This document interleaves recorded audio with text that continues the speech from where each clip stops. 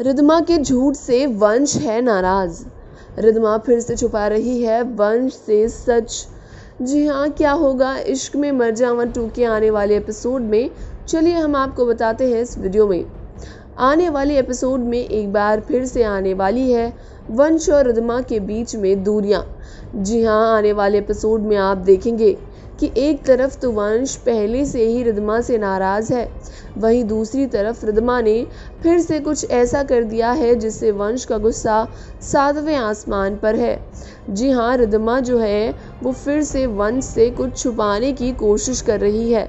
रिदमा वंश के ऑफ़िस में जाती है और उसके लैपटॉप पर कुछ देख रही होती है। वंश इस बारे में जब रिदमा से पूछता है तो वो उसे कहती है कि वो वहाँ पर नहीं गई थी। वंश जब गुस्से से रिदमा से पूछता है, तब वो कहती है कि हाँ वो गई थी, पर वो इस बारे में उसे अभी कुछ भी नहीं बता सकती। ये सुन के वंश बहुत ज़्यादा गुस्से में आ जाता है और कहता है कि तुम मेरे पास तभी आना जब तुम्हें मुझसे सच बोलना होगा। और ये कहकर वंश वहाँ से दूसरे कमरे में चला जाता है। जी हाँ रिदमा फिर से वंश से कुछ छुपाने की कोशिश कर रही है और वंश इस बात से बहुत ज़्यादा नाराज़ है।